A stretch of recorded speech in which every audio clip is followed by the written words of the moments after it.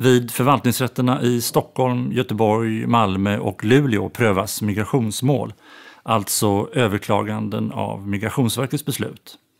Domstolen kallas då migrationsdomstol. Det man först tänker på är asylmålen, alltså när någon söker skydd i Sverige. Domstolens roll i asylmålen är att se till att asylsökande inte sänds tillbaka till länder och situationer där det finns risk att deras mänskliga rättigheter kränks.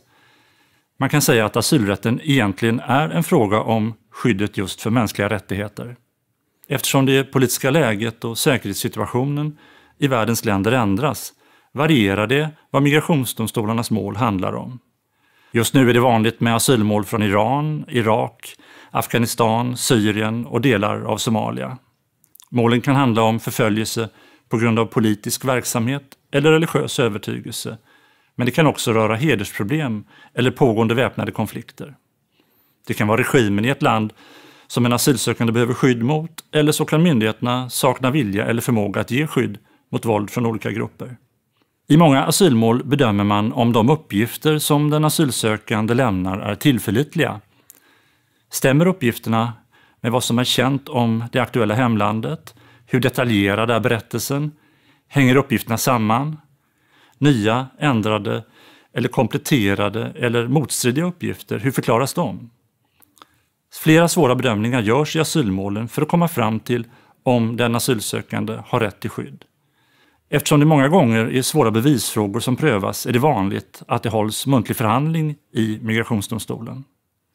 I asylmålen prövas ofta också om det finns synnerligen ömmande omständigheter. Man prövar exempelvis om den asylsökandes hälsotillstånd eller anpassning till Sverige gör att uppehållstillstånd ska beviljas. Andra mål som är vanliga i migrationsdomstolarna gäller uppehållstillstånd på grund av anknytning till någon som är bosatt i Sverige. Den som söker uppehållstillstånd kan ha en nära släkting som är bosatt här och då kan man i vissa fall få uppehållstillstånd. I Migrationsdomstolen i Malmö prövas också medborgarskapsmål och i Migrationsdomstolen i Göteborg finns viseringsmål.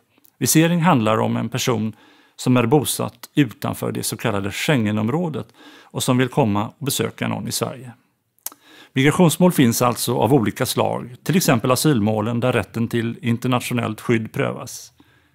Även om målen är olika så är de samtidigt lika. I alla mål har den enskilde en möjlighet att få sin sak prövad i domstol, i migrationsdomstol.